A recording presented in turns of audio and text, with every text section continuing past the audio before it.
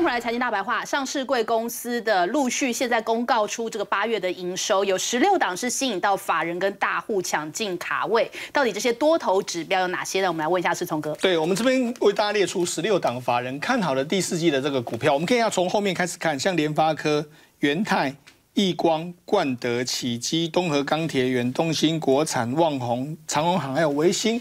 好，那这是这我们在看另外这五档，五档我们为大家这个圈起来。第一个是华邦电，嗯，再来就是说宏基，再来就是长荣，紧接下来是这个群创，第一名大家应该猜得出来，就是友达。啊，最近都是他们的秀场。那这么多股票，你有没有看见看出什么端倪？第一个。